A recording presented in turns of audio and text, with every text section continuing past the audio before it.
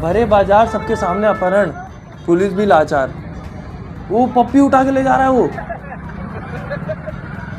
उसको छोड़ मत देना भाई बस ऊपर की बिल्डिंग से बेचारा जाएगा कहाँ? फिर से गैंग वॉर चालू हो गई दोस्तों मुझे तो लग रहा है एक बार हुई थी एक कुत्ते के बच्चे को आ, क्या कुत्ते के बच्चे को बंदर ने मारा था? बंदर के बच्चे को कुत्ते ने मारा था। पूरी भीड़ इकट्ठा हो गई थी।